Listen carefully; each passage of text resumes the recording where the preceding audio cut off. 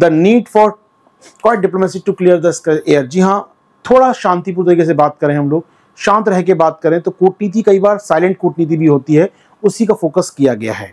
आइए बात करते हैं भारत कनाडा संबंधों में। आर्टिकल क्या कह रहा है मेरे पास? कुछ पॉइंट्स होंगे बताने के लिए दोस्तों आपको। भारत कनाडा संबंधों की बात करेंगे। देखिए इंडिया कनाडा रिलेशन अगर बात में करें, पिछले कुछ समय से खराब हो गए हैं। कई कारण इसके पीछे, खासकर जो वहाँ के पीएम का स्टेटमेंट आया टूडो साहब का स्टेटमेंट आया।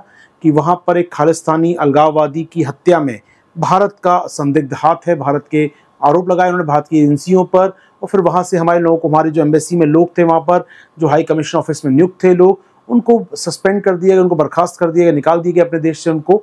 तो निश्चित तौर पर संबंध, एक तो कहना अपने आप में संसद में खड़े होकर, फिर एक्शन लेना कि आपने निकाल दिया हमारे लोगों को वहाँ से तो कहीं ना कहीं संबंधों को लगातार खराब कर रहा है। उसके बाद कनाडा में जो प्रोटेस्ट हो रहे हैं कनाडा में भारत विरोधी प्रदर्शन हो रहे हैं। कनाडा में पीएम मोदी साहब की आ, इमेज के संग दुर्व्यवहार हो रहा है। इसको लेकर कनाडा सरकार कोई प्रयास नहीं कर रही है इसको रोकने के लिए। तो निश्चित तौर पर वो तस्वीरें वो वो जो वीडियोज़ आ रहे हैं वो भारत के लोगों को काफ़ी चुभ रहे हैं और कहीं ना कहीं इससे हमारी नाराज़गी कनाडा की बड़ी बढ़ रही है। तो पीएम का स्टेटमेंट लोगों को निकाला जाना वहाँ से हमारे भारतवंशी को चेतावनी देना वहाँ पर खुलेआम वार्निंग दी जा रही है भारतीयों को मारने की या बदला लेने की और उसके बाद भारत के तिरंगे का, भारत के पीएम का अपमान करना, निश्चित तौर पे कई ऐसी एक्टिविटीज़ हैं जो भारत विरोधी बन रहा है, कनाडा आपको दिख रहा है यहाँ पर। चलिए तो घटनाक्रम सभी जानते हैं आप लोग। इस घटनाक्रम के पीछे कारण क्या है? आखिर कारण ढूँढने का प्रयास करें हम लोग। भारत, कनाडा के संबंध कभी इतने बुरे नहीं थे और पिछले कुछ सालों से अच्छे संबंध चल रहे थे। 1973 में पीएम साहब गए थे हमारे, पीएम साहिबा गई थी हमारे यहाँ से। उसके बाद 2009-10 में मनमोहन सिंह की यात्रा हुई। फिर 2015 मोदी साहब गए कहीं ना कहीं यात्रा पर तो हिस्टोरिकल भी देखे विज़िट हो रही थी लगातार। अभी जी ट्वेंटी में उनके पीएम आए भी थे भारत में तो लगातार उनके पीएम दो तीन बार आ चुके हैं पिछले पाँच सात सालों में भारत में कहीं ना कहीं। ये बात तो फैमिली को लेकर आए थे अपनी भारत तक, कहीं ना कहीं वो याद आता है तो बेटे उनके, बच्चे उनके साथ में आए थे उनके। तो संबंध काफ़ी अच्छे रहे हैं हमारे। आखिर ऐसा क्या हो गया कि पिछले कुछ समय समय इतने खराब हो गए? आइए उसका पड़ताल करते हैं आपके साथ, कुछ बात करें और वहीं पर समाधान मिलेगा। देखिए पहली बात तो है कि भारत का ये आरोप है, भारत ये आरोप लगा रहा है कनाडा के ऊपर। कनाडा पर हमारा ये आरोप है कि आप जो खालिस्तानी ग्रुप हैं, ये खालिस्तानी जो ग्रुप हैं आपके यहाँ पर, खालिस्तानी समूह हैं, खालिस्तानी आतंकवादी अलगाववादी हैं, ये खालिस जो सिख जस्टिस नाम के संगठन चलाते हैं अपने यहाँ पर, ये, इनको आप रोकने का कोई प्रयास नहीं कर रहे हैं। ये आरोप है कनाडा पर कि आप इनको बढ़ावा तो नहीं दे रहे, चलिए कोई बढ़ावा देने की बात नहीं है, लेकिन अभी आरोप ये नहीं लगाया भारत सरकार ने कि बढ़ावा दे रहे हैं। लाइक पाकिस्तान पर आरोप लगाते हैं हम लोग कि लश्कर तैयबा को बढ़ावा दे रहे हो फंडिंग दे रहे हो, आतंकवादियों को। वैसा आरोप कनाडा पे नहीं है। हमारा आरोप कनाडा पे ये है कि जो खालिस्तानी अलगाववादी पनप रहे हैं आपके यहाँ, उनको रोकने का आप कोई प्रयास नहीं कर रहे ठीक है, अभी ये आरोप आधा है। पूरा आरोप कब होगा? जैसे पाकिस्तान पर लगाते हैं कि आप आतंकवादियों को बढ़ावा देते हैं सपोर्ट करते हैं फाइनेंस करते हैं, घुसपैठ कराते हैं। वैसा आरोप अभी कनाडा पे नहीं है। तो निश्चित तौर पर आप प्रयास नहीं कर रहे इनको रोकने का। तो प्रयास नहीं कर रही कनाडा सरकार, ये आरोप है भारत का। वहीं कनाडा का कहना क्या है यहाँ पर? कनाडा कहना यह है, जनाब, हमारे जो लीगल सिस्टम है, हमारी जो कानूनी व्यवस्था है, हमारे जो ह्यूमन राइट्स हैं, हमारा जो प्रशासनिक ढांचा है, वो हमें ज़्यादा परमिशन नहीं देता है इन पर एक्शन लेने की। जी हाँ उनका कहना यह है, जो उनका लीगल एंगल है यहाँ पर, कि हम जानते हो सकता है आपको परेशानी हो इनसे हम जानते हैं कि आपको हो सकता है सिख अलगाववादियों से परेशानी हो खालिस्तानी से परेशानी हो, लेकिन हमारा जो लीगल स्ट्रक्चर है, कनाडा का जो लीगल स्ट्रक्चर है, वो परमिशन नहीं देता है कि हम लोग उनको रोकें या इनकी प्रोटेस्ट करने से इनके अधिकार को वंचित करें। तो भारत को समझना चाहिए कि हमारा लीगल स्ट्रक्चर अलग प्रकार का है। ठीक है? भारत का भी मेरे इंटरेस्ट की बात है कि मेरे खिलाफ बोल रहे हैं, मेरे तिरंगे का अपमान कर रहे हैं, इनको रोको। कनाडा कहता है कि मैं कुछ नहीं कर सकता, मेरा लीगल स्ट्रक्चर नहीं है। तो पहला इशू क्या है इनके बीच में? यहाँ पर perception of laws perception of कानून, जो कानूनों का दृष्टिकोण है, वो अलग अलग है। मैं चाहता हूँ आप अलगाववादियों को रोकिए, वो रोक नहीं पा रहा क्योंकि उसके कानून ऐसा नहीं है। फिर हम क्या कहें कानून बदलो यार। कानून बदलाव करो अपने यहाँ पर। तो कनाडा की सरजमी इस प्रकार की है कि वहाँ प्रोटेस्ट करने से नहीं रोका जाता है। चाहे मैं तमिलों की बात करूँ, मैं आपसे चाइनीज़ लोगों की बात करूँ वहाँ पर यूरोप के प्रोटेस्ट की बात करूँ, दुनिया में अगर कोई प्रोटेस्ट करने के लिए सेफ़ जगह है तो माना जाता है कनाडा, क्योंकि वहाँ के लॉ ऐसे नहीं है कि वो रोकें अलगाववादियों। चलिए, आइए एक टॉपिक ये हम दिखता है हमको यहाँ विवाद का। दूसरा एक पक्ष और इस विवाद का। कनाडा ने ये आरोप लगाया है भारत के ऊपर कि आप वर्ल्ड जो कहते हैं हम कहते हैं रूल बेस्ड वर्ल्ड ऑर्डर ये बहुत कॉमन वर्ड है डिप्लोमेसी में यूज़ करते हैं हम लोग। रूल बेस्ड वर्ल्ड ऑर्डर आप नियम आधारित विश्व व्यवस्था जो है रूल बेस्ड वर्ल्ड ऑर्डर बोलते हैं इसको हम लोग दोस्तों। आप नियम आधारित जो विश्व व्यवस्था है, उसको तोड़ रहे हैं। आप किसी देश में जाके आरोप लगाए भारत पे कि आपने हत्या करवा दी, हमारे एक नागरिक की। अब वो अलगाववादी है, वो कोई भी है, वो आपके लिए आरोपी होगा आपकी नज़र में, लेकिन मेरा देश का नागरिक है, उसकी आप हत्या कराएँगे तो विश्व व्यवस्था बिगड़ जाएगी जो रूल आधारित है। अभी रूल बेस्ड वर्ल्ड ऑर्डर होता क्या है, इसको समझ लीजिए एक मिनट में। अब देखिए, दुनिया में नियम तैयार किए गए हैं। अगर हम समाज में रहते हैं तो नियम तैयार किए गए भैया, आप इस मेरे घर में नहीं घुसाएँगे, मैं आपके घर में नहीं घुसूँगा। नियम तैयार की गई पब्लिक प्लेस का कैसे यूज़ किया जाएगा, सरकार के प्रति वोट कैसे किया जाएगा नियम कायदे कानून तैयार है। कि मैं बहुत रात को बारह बजे स्टूडियो चालू कर दूँगा, बहुत तेज आवाज़ में गाना गाना चालू नहीं कर दूँगा, नियम बनाए गए हैं जिससे सामाजिक व्यवस्था बनी रहे। समाज के नियम, देश के नियम, कानून के नियम बनाए जाते हैं जिससे व्यवस्था बनी रहे। ऐसी वर्ल्ड ऑर्डर है। विश्व व्यवस्था बनी हुई है। कोई देश में सीमा ना घुस जाए किसी के, कोई किसी की हत्या न करवा दे। हर देश के नियम होते हैं। उन नियमों का पालन करना चाहिए। हम कहते हैं समुद्रों के नियम होते हैं, जैसे मान लो कोई समुद्री सीमा में ना घुस जाए आपकी तो कहते हैं रूल बनाए गए ना। बहुत सारे नियम तैयार किए गए समुद्रों के नियम, पर्यावरण के नियम क्लाइमेट चेंज के नियम फिनेंस के नियम संप्रभुता के नियम जेनेवा कन्वेंशन वियना कन्वेंशन हथियारों के नियम नियम तैयार किए हैं आपने। आप नियमों के मुताबिक नहीं चलेंगे आप तो विश्व व्यवस्था बिगड़ जाएगी। तो कनाडा ये कह रहा है भारत से कि आप नियमों के साथ चलिए, तभी वर्ल्ड ऑर्डर मेंटेन हो पाएगा। तो रूल बेस्ड वर्ल्ड ऑर्डर के लिए भारत को ऐसे हत्याकांड नहीं कराने चाहिए यह आरोप है कनाडा का। ठीक है? हमने कहा आप रूल बेस की अगर बात करते हैं, आप अगर नियम आधारित की बात करते हैं सेकंड पॉइंट समझिएगा सेकंड पॉइंट कनाडा का आरोप है कि रूल बेस्ड वर्ल्ड ऑर्डर की बात कर रहा है कनाडा। हम कह रहे हैं, जनाब, सुनो कनाडा, आप रूल बेस्ड की अगर बात करते हो तो एक खालिस्तानी आतंकवादी हैं। ये भारत में आतंकवादी संगठन घोषित है। भारत दुनिया में नियमों का पालन करने वाला देश है। भारत वो देश है जो हमेशा से ग्लोबल पीस डायलॉग की बात करता है। भारत वो देश है यूएन का फाउंडिंग मेंबर है, संस्थापक सदस्यों में से एक है। हमसे दुनिया में लोकतंत्र को मानने वाला कोई नहीं है। हम कह रहे हैं वो आतंकवादी है और आपने आतंकवादी को शरण दे रखी है अपने यहाँ। तो रूल का उल्लंघन तो आप कर रहे हैं। नियमों का उल्लंघन तो आप कर रहे हैं। आतंकवादियों को, अलगाववादियों को, खालिस्तानियों को अपने यहाँ शरण देकर। तो कहीं ना कहीं हमें तो मत सिखाइए कि रूल क्या होता है। तो कहीं ना कहीं भारत का कहना है कि रूल बेस्ड वायलेशन कौन कर रहा है? कनाडा कर रहा है। तो ये दूसरा आरोप हो गया। एक तो परसेप्शन ऑफ़ लॉ दूसरा perception about the rule based world order इन दोनों के बारे में, दोनों की अलग राय बनती है यहाँ पर। तीसरा मुद्दा। तीसरा मुद्दा जो बना हुआ है, कनाडा के पीएम बार बार कह रहे हैं कि इस मुद्दे पर कंस्ट्रक्टिव डायलॉग की आवश्यकता है, रचनात्मक संवाद की आवश्यकता है। अभी रचनात्मक संवाद वो कह तो रहे हैं, इसके मायने क्या होते हैं? कंस्ट्रक्टिव डायलॉग बोल रहा हूँ दोस्तों, शब्द हिंदी में होगा रचनात्मक संवाद। अब इस रचनात्मक संवाद के मायने क्या हैं? वहाँ के पीएम बार बार कह रहे हैं कि संवाद स्थापित करें भारत, रचनात्मक संवाद करें और हम लोग सॉल्व कर लेंगे मामले को। अब कंस्ट्रक्टिव डायलॉग का मतलब होता है कि आप जो आरोप लगा रहे हैं, आपको संवाद कंस्ट्रक्टिव करना, आप चाहते हैं उसका रिज़ल्ट निकले तो आप जो आरोप लगा रहे हैं उसके एवज में मुझे एविडेंस दीजिए। आपने कहा भारत ने हत्या कराई तो बताइए, साक्ष्य दीजिए मुझे उस बात के। आप आरोप लगा के भग जाएँ कि जनाब भारत ने ऐसा किया, इससे संवाद नहीं होगा। संवाद होगा, जो आप कह रहे हैं आपके आप गंभीर व्यक्ति माना जाए, आप जो कह रहे हैं संसद में खड़े होकर, उसके मुझे साक्ष्य दीजिए। सब्सटेंशियल साक्ष्य होने चाहिए, ऐसे नहीं बस लिखा हो कि मैंने फ़ोन रिकॉर्ड कर लिया कहीं से। कुछ सब्सटेंशियल साक्ष्य होने चाहिए तो हम बात करें। हमने पाकिस्तान से कहा, जनाब, नौ ग्यारह, हमारे छब्बीस ग्यारह, जो हमारे बम्बई अटैक हुआ, उसमें हाफिज सईद लश्कर तोयबा ये लखवी इन सब के नाम हैं हमारे पास। हमने एविडेंस दिया पाकिस्तान को। देखिए, ये फ़ोन कॉल है। कसाब यहाँ पर आके इन सबसे बात कर रहा था। दस आतंकवादियों को उन लोगों ने फाइनेंस किया। इनकी बोट को यहाँ से लाया गया। हमने एविडेंस दिया पाकिस्तान को छब्बीस ग्यारह के आरोपियों के लिए। इसे कहते हैं एविडेंस देना विद सब्सटेंशियल एविडेंस देना। मामला मामला चालू भी हो और हाफिज सईद को वहाँ की कोर्ट ने प्रारंभिक तौर पर गिल्टी मानते हुए जेल में डाल भी दिया। वॉट लेकिन पॉइंट बात है कि हमने सब्सटेंशियल साक्ष्य दिए। अगर कनाडा हमसे चाहता है कि संवाद रचनात्मक हो तो कनाडा को क्या करना होगा? भारत को साक्ष्य देने होंगे एविडेंस देने होंगे। और ये एविडेंस छोटे मोटे नहीं चाहिए मुझे सब्सटेंशियल ऐसे साक्ष्यों जो कि बहुत महत्वपूर्ण हो, जो कि कह सकते हैं अपने आप में सब्सटेंशियल इतने इतने सार्थक हो वो, कि परिणाम निकल सके उससे जाँच से। जी हाँ तो कहीं ना कहीं में सार्थक साक्ष्य देने होंगे कनाडा को, जो देने में लगातार फेल हो रहा है, वो कह रहा है हम भारत को दे चुके हैं। अगर भारत को दे चुके हैं तो आपने पूछा नहीं भारत से क्या किया आपने साक्ष्यों का? अगर वो भारत को साक्ष्य दे चुके, मैंने आपको एविडेंस दिया, भारत ने पाकिस्तान को एविडेंस दिया था तो बात पूछता था कहाँ पहुँचा मामला, कहाँ पहुँची जाँच आपकी? हमने खुले में दिया था साक्ष्य आपको यहाँ पर। सबके सामने दिया था साक्ष्य ये रहे। आपने साक्ष्य दिया, हमको मालूम ही नहीं साक्ष्य दे दिया आपने कब। कोई कोई डिलीवरी होगी, कोई रिसिप्ट प्राप्त होगी, कोई आपने पावती प्राप्त की होगी हमसे वे साक्ष्य दिया आपको। शेयरिंग की इंटेलिजेंस मेरे साथ। पूछेंगे फिर आप फर्दर क्या क्या किया इस पर आपने? तो जनाब, ये पक्की बात है कि आपने कोई सार्थक साक्ष्य सब्सटेंशियल एविडेंस हमको नहीं दिए हैं। तीसरा बात यहाँ पर है, अगर आप चाहते हैं राष्ट्रात्मक संवाद करना तो आपको कहीं ना कहीं सार्थक साक्ष्य हमको देने होंगे। तो तीनों मुद्दों को देखिए, तीनों मुद्दों समझिएगा, विवाद कहाँ कहाँ पर है। पहला बात लॉ का परसेप्शन ह्यूमन राइट्स बनाम हमारे अलगाववादी। हम कहते हैं अलगाववादी कहता नहीं मानव अधिकार है भैया इनके लोगों के तो। दूसरा मामला कहीं ना कहीं बताया मैंने आपको, यहाँ पर जो मुद्दा जुड़ता है आपके साथ रूल बेस्ड वर्ल्ड ऑर्डर का। वो कहता है कि भारत उल्लंघन कर रहा है, कानून आधारित विश्व व्यवस्था का हम कहते हैं उल्लंघन तो आप कर रहे हैं अलगाववादियों को जगह देकर। तीसरी बात जो मैंने कहा आपसे क्रेडिट डायलॉग के लिए ज़रूरी क्या है?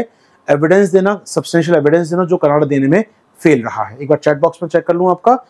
सब कुछ ठीक चल रहा है हमारे बीच? तकनीकी समस्या ना आई हो कोई? ठीक है सिर्फ़ चल रहा है आइए। तो तीन मामले हैं दोस्तों। अब आते हैं इस आर्टिकल के कोर आइडिया पर कि संवाद आगे कैसे बढ़ेगा।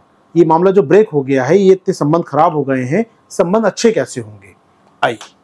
तो यहाँ पर मेरे पास कुछ पॉइंट्स हैं आर्टिकल में लेकर आता हूँ मैं आपको यहाँ पर आर्टिकल में लेकर चलता हूँ एक बार मैं आपको। संबंध अच्छे कैसे होंगे? तो मैंने कुछ पॉइंट लिखे हैं आपके लिए, सुन लीजिए। सर्व कर दिया, पूरा आर्टिकल मिल जाएगा पढ़ने को, आपको आपके नोट्स में, वो पढ़ लीजिएगा आप आराम से। मैं यहाँ कुछ पॉइंट लिख रहा हूँ आपके लिए, क्या करना चाहिए हमको? तो यहाँ पर हमें क्या करना होगा? क्या करना चाहिए? पहली बात तो हमेशा बोलता हूँ मैं इस प्रकार के संबंधों के लिए और वो समस्या का हल तभी मिलेगा आपको वो है बैक चैनल डिप्लोमेसी दोस्तों। इसके लिए बहुत अच्छा शब्द होता है प्राइवेट डायलॉग या बैक चैनल डिप्लोमेसी। हमें इससे स्टार्ट करना होगा। uh, मैं हमेशा इस बात का समर्थक रहा हूँ बींग बींग आई आर जानकार बोल सकते हैं आई आर एक्सपर्ट हमें याद है मुझे 2000 में आपको ले जाऊँ चौदह पंद्रह में। हमेशा कहता हूँ कि इसको हमेशा स्टडी करके रखा है हम लोगों ने।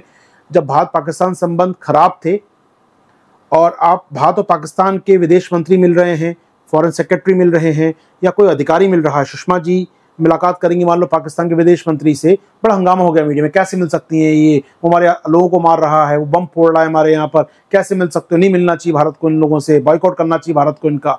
मीडिया परसेप्शन, लोगों का परसेप्शन बात नहीं करो पाकिस्तान से। लेकिन पाकिस्तान से बात करना ज़रूरी भी है, वरना कब तक रोकेंगे ना बात को? संबंध तो सॉल्व करना ज़रूरी है ना? तो इसके लिए क्या होती है? Back channel diplomacy. शांति से बात करो यार आराम से। पता ना चले मीडिया को। प्राइवेट डायलॉग करो। एनएस से मुलाकात कर लें, कहीं पर जाकर, कहीं पर फॉरेन सेक्रेटरी मुलाकात कर लें, कहीं पर इंटेलिजेंस के अधिकारी मुलाकात कर लें पब्लिक डोमेन मत आने दो। बात करो आराम से। बैक चैनल डिप्लोमेसी तो ये कूटनीति बहुत अच्छा काम करती है। कई बार विवादों को समाधान में सबसे अच्छा काम यही कूटनीति करती है। तो क्या करना होगा हमको? निजी स्तर वार्ताओं को कई बार तकनीकी शब्द होता है बैक चैनल डिप्लोमेसी को बढ़ावा देना होगा।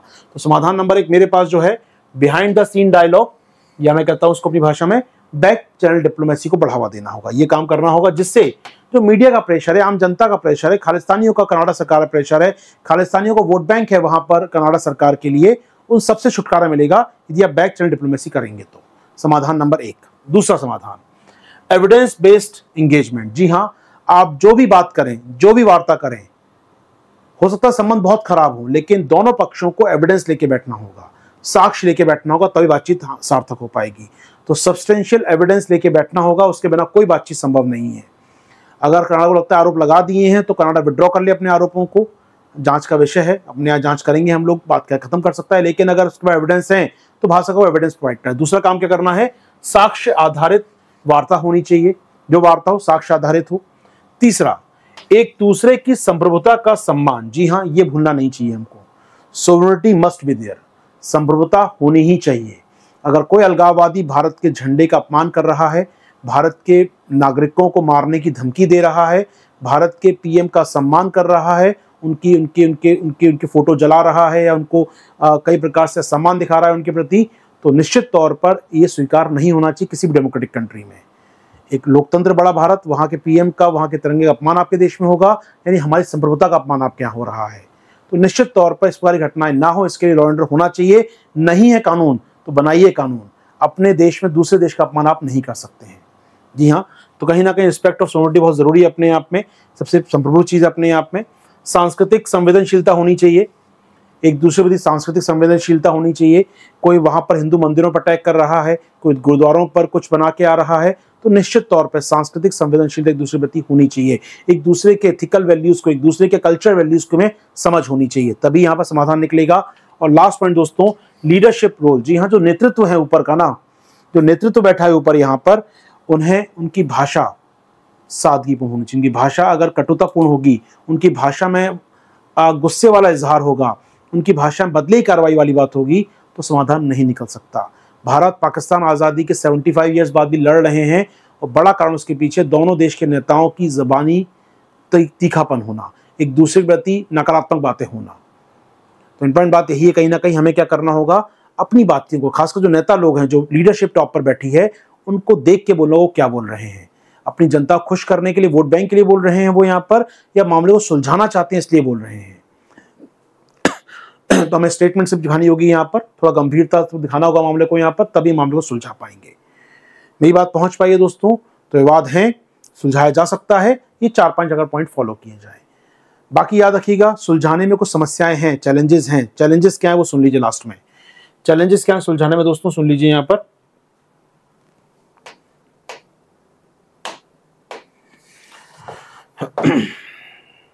चैलेंजेस क्या है सुलझाने के सामने? चुनौतियाँ क्या हैं? आखिर बाधाएँ क्या आएँगी? ये तो कह दिया आपने सर, ये पॉइंट हैं। चुनौतियाँ क्या क्या हैं? वो समझिए दोस्तों।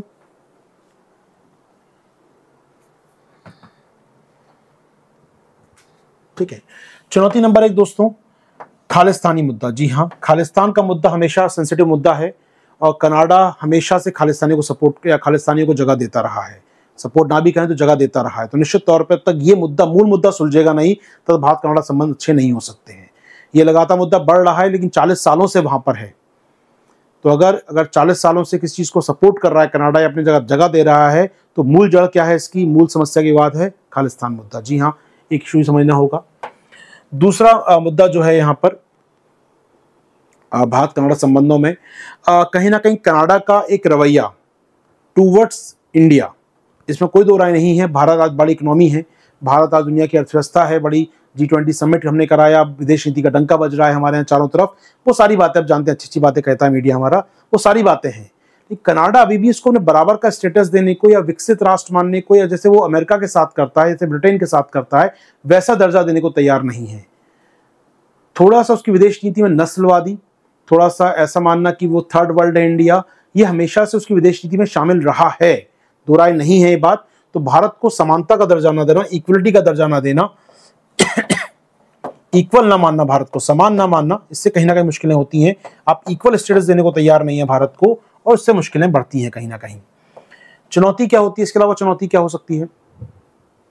इसके अलावा चुनौती हमें आप कनाडा में तक कोई एविडेंस नहीं दिए हैं यहाँ पर। आरोप लगा रहा है तो चुनौती एविडेंस अब तक नहीं देगा मामला रोका रहेगा सारा ये।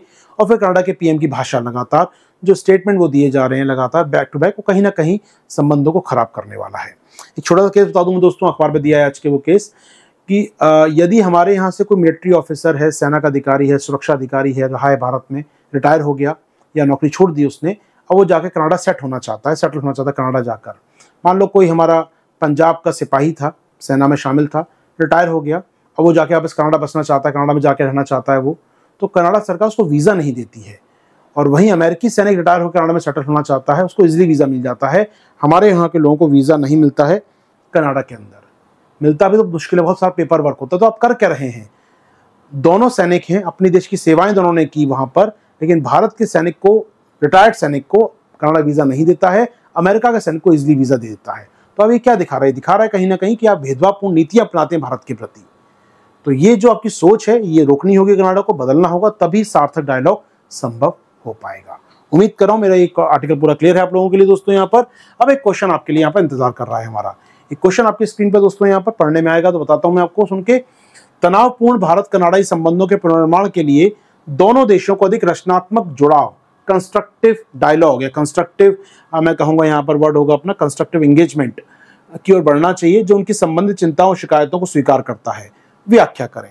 चिंताएँ हमारी क्या हैं? खालिस्तान। चिंता हमारी क्या है? नस्लवादी असमानता।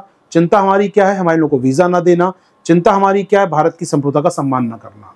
उनकी चिंताएँ, उनका लीगल ऑर्डर उनके रूल बेस्ड ऑर्डर उनके नागरिकों की हत्या उनकी चिंताएँ हैं। दोनों की चिंताएँ हैं अपनी अपनी शिकायतें हैं दोनों की यहाँ पर, स्वीकार करता हो, व्याख्या करें। तो क्या करना चाहिए? बताया मैंने आपको रिफॉर्म क्या हो सकते हैं। याद रखिएगा, प्रयास बैच हमारा आ चुका है दोस्तों आपके लिए। 2024 तैयारी कर रहे हैं चौबीस की डेडिकेटेड नाइन मंथ बैच दोस्तों ये। नौ महीने का बैच है। फ़ीस आपको फिफ्टी परसेंट डिस्काउंट है आपके लिए। ये फ़ोन नंबर है, ये कोड है दोस्तों मेरा। यूज़ कीजिए, जुड़िए हमारे साथ। शानदार एजुकेटर की टीम रहेगी आपके लिए, जो आपको क्लास करा रहे हैं दोस्तों फिफ्टी परसेंट फ़ीस डिस्काउंट में। तो नौ महीने का कोर्स दोस्तों आई बैच आपका लाइव फ्रॉम ट्वेंटी सेप्टेम्बर से लॉन्च हो रहा है दोस्तों आपके लिए ये। जुड़ी हमारे साथ टीम के साथ। फिफ्टी परसेंट फ़ीस में दोस्तों आपको मिल रहा है बैच ये, नौ महीने का बैच। जी हाँ फ़ीस कितनी है राइट नाउ अभी? थर्टी सेवन थाउज़ेंड जी हाँ दोस्तों, सब कुछ है आपके लिए थर्टी नाइन थाउज़ेंड में। तो थर्टी सेवन थाउज़ेंड इवन मैं कहूँगा। कोड यूज़ कीजिएगा आशीर्वाद थ्री सिक्सटी जिससे आप जुड़ पाए टीम से हमारी। कोड यूज़ किया आशीर्वाद थ्री सिक्सटी आराम से, पढ़िए टीम से आराम से दोस्तों। शांत एजुकेटर आपके लिए थर्टी सेवन थाउज़ेंड में 2024 की तैयारी पूरी यहाँ पर। जी हाँ जुड़ी हमारे साथ दोस्तों इसमें। इसके अलावा आप जुड़ सकते हैं हमारे साथ दोस्तों हमारे ऑप्शनल बैचेस में। एजुकेटर्स आपके लिए ऑप्शनल बैच लेकर आए दोस्तों। जहाँ आंसर राइटिंग भी है आपके लिए। आप किसी भी कोर्स को ज्वाइन कर सकते हैं आराम से आप। एक बार ज्वाइन करने पे सारे ऑप्शन आपके पास रहेंगे वहाँ पर। जो आप पढ़ना चाहें, इसमें से पढ़ना चाहें तो क्लासेस हैं और टेस्ट दोस्तों। एक से एक ऑप्शन आपके लिए दोस्तों मिलेंगे आपको यहाँ पर। जुड़ सकते हैं हमारे ऑप्शनल के साथ भी। और कोई जानकारी चाहिए अधिक तो ये नंबर रहा दोस्तों। ये फ़ोन नंबर है। कोड है मेरा आशीर्वाद 360 जुड़ जाइए और कोई भी जानकारी चाहिए टेलीग्राम पे जुड़ के पूछ सकते हैं मुझसे। टेलीग्राम जानते हैं आप लोग। आशीर्वाद सर नोट्स ग्रुप नाम का टेलीग्राम ग्रुप है, जिससे जुड़कर आप क्लास के लिंक और पीडीएफ प्राप्त कर सकते हैं।